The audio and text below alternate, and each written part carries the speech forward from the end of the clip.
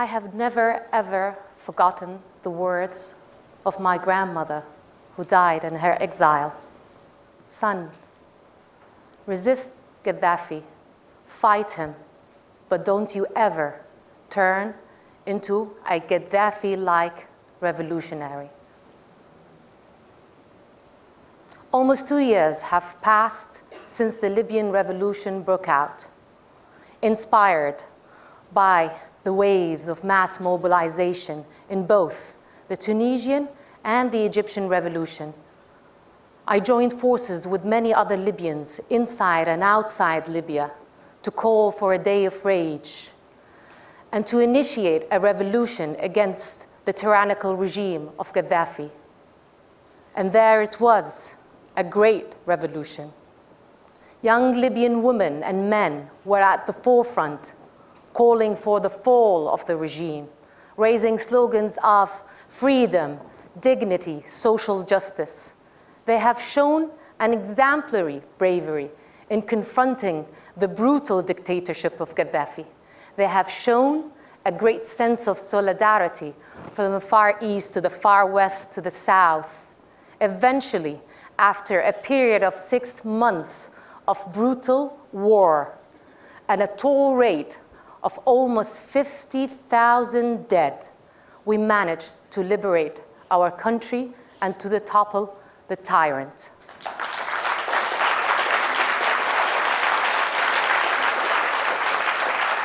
However, Gaddafi left behind a heavy burden, a legacy of tyranny, corruption, and seeds of diversions.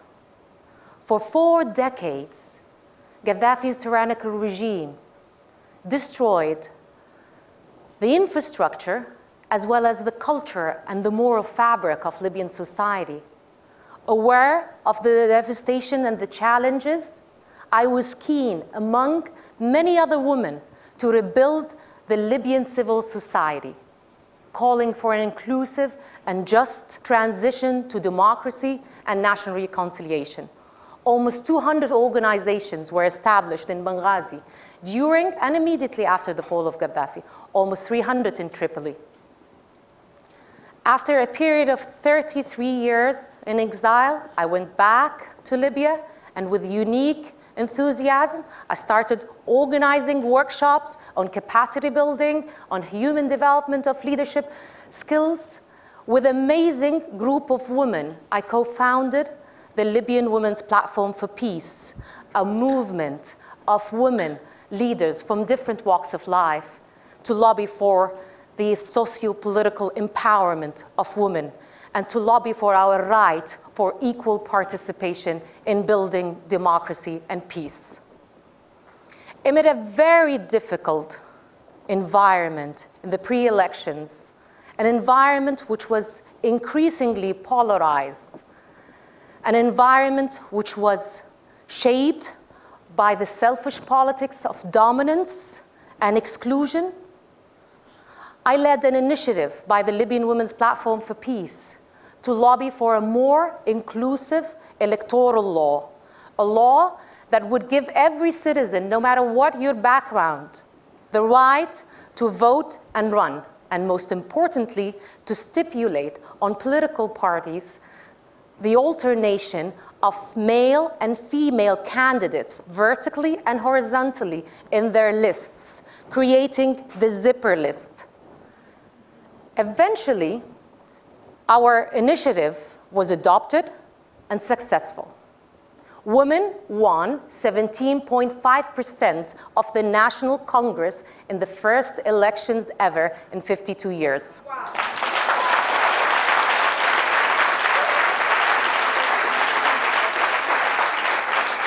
However, bit by bit, the euphoria of the elections and of the revolution as a whole was fading out. For every day, we were waking up on the news of violence. One day, we wake up on the news of the desecration of ancient mosques and Sufi tombs. On another day, we wake up on the news of the murder of the American ambassador and the attack on the consulate. On another day, we wake up on the news of the assassination of army officers And every day, every day, we wake up with the rule of the militias and their continuous violations of human rights of prisoners and their disrespect of the rule of law. Our society, shaped by a revolutionary mindset, became more polarized and has driven away from the ideals and the principles, freedom, dignity, social justice that we first held. Intolerance, exclusion, and revenge became the icons of the post-math of the revolution. I am here today not at all to inspire you with our success story of the zipper list in the elections. I'm rather here today to confess that we, as a nation, took the wrong choice, made the wrong decision. We did not prioritize right. For elections did not bring peace and stability and security in Libya. Did the zipper list and the alternation between female and male candidates bring peace and national reconciliation? No, it didn't. What is it then? Why does our society continue to be polarized and dominated with selfish politics of dominance and exclusion by both men and women? Maybe what's missing were not the woman only, but the feminine values of compassion, mercy, and inclusion. Our society needs national dialogue, a consensus building, more than it needed the elections, which only reinforce polarization and divisiveness. Our society needs the qualitative representation of the feminine more than it needs the numerical, quantitative representation of the feminine. We need to stop acting as agents of rage and calling for days of rage we need to start acting as agents of compassion and mercy. We need to develop a, a, feminine discourse that not only honors but also implements mercy instead of revenge, collaboration instead of competition, inclusion instead of exclusion. These are the ideals that a war-torn Libya needs desperately in order to achieve peace. For peace has an alchemy, and this alchemy is about the intertwining, the alternation between the feminine and masculine perspective. That's the real zipper. And we need to establish that existentially before we do so sociopolitically. According to a Quranic verse, salam, peace, is the word of the all-merciful God. Rahim.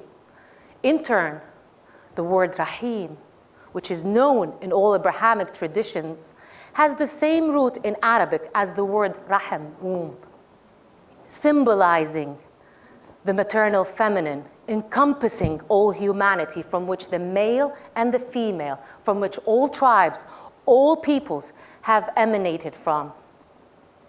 And so just as the womb entirely envelopes the embryo, which grows within it, the divine matrix of compassion nourishes the entire existence. Thus, we are told that my mercy encompasses all things.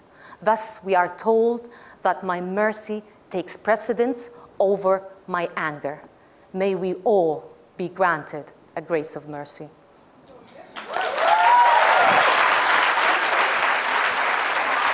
Thank you. Thank you. Really. Thank, Thank you so much. Thank you. Thank you. you so much. Thank you.